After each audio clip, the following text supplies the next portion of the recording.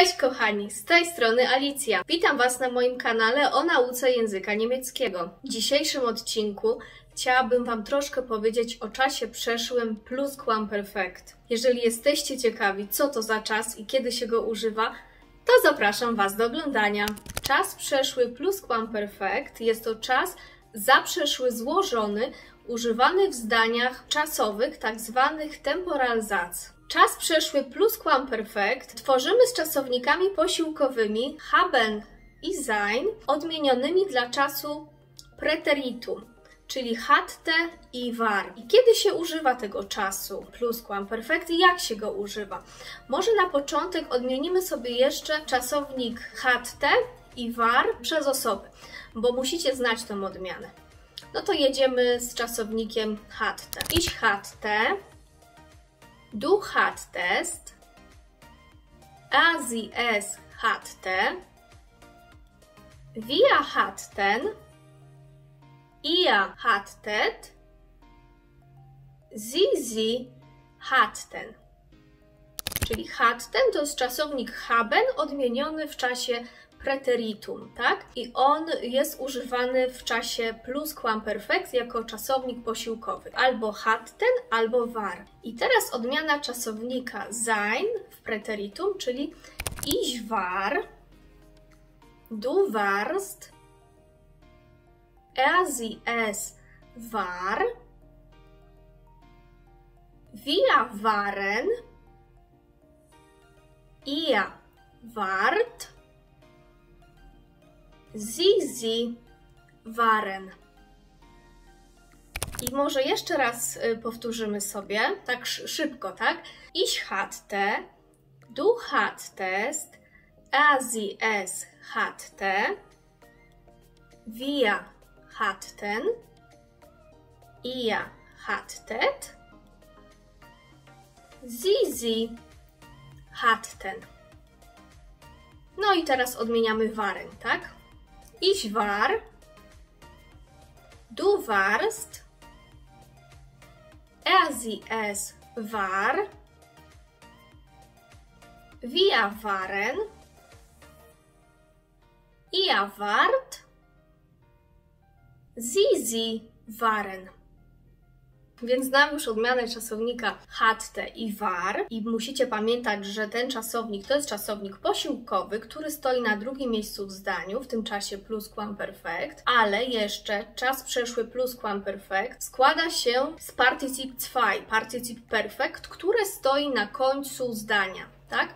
A wy też to już znacie, bo to jest to samo co w perfekcie, tak? Czyli ta trzecia forma tabelki, czyli gefahren, gelesen, gesprungen, gesehen, tak? Czyli e, to jest particip 2 i to musi stać na końcu zdania. Czyli jeszcze raz, czas przeszły plusquamperfect składa się z czasownika posiłkowego haben lub sein odmienionego dla preteritum, tak? I to stoi na drugim miejscu w zdaniu oraz z particip 2 czy particip perfect, różnie na to się mówi, tak? I to musi stać na końcu zdania. No to może jakiś przykład. Sie hatte sich verspätet, czyli ona się spóźniła.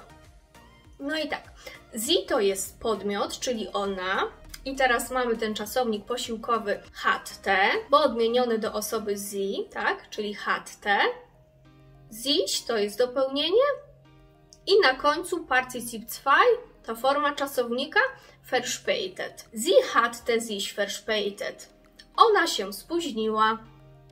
Ten czas przeszły plusquamperfect nie jest tak często używany jak czas przeszły perfekt czy preteritum, no ale trzeba znać go, tak? Trzeba znać zasady, jak się go tworzy, kiedy się go używa. Dlatego dzisiaj dla Was y, postanowiłam nagrać ten odcinek o tym czasie. Najlepiej jak będziecie sobie kojarzyć, że jak wystąpi w zdaniu jakiś czasownik hatte czy war i na końcu particip 2, tak? To wiadomo, że to będzie plusquamperfect. Czyli tak go sobie kojarzcie z tą formą hatte i war dla czasownika haben i sein w preteritum, tak? Tak sobie kojarzcie ten e, plusquamperfect.